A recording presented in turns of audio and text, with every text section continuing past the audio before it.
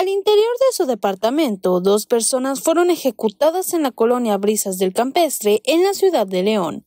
De acuerdo con información preliminar, minutos después de las 11 de la noche del 26 de noviembre, se reportó al 911 el estruendo de disparos dentro de una vivienda en la que se encontraba un hombre y una mujer presuntamente pareja.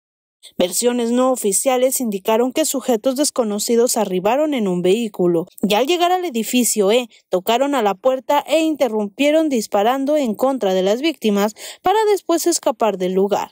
Vecinos al escuchar las detonaciones con miedo y angustia llamaron al 911 solicitando la presencia de corporaciones de seguridad.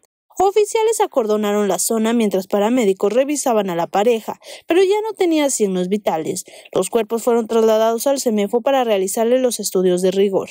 Finalmente, agentes de la Fiscalía se encargaron de levantar los indicios que servirán para esclarecer la mecánica de los hechos. Para el tema Noticias de TV Libertad, con información de Salvador Lerma, Victoria Vera.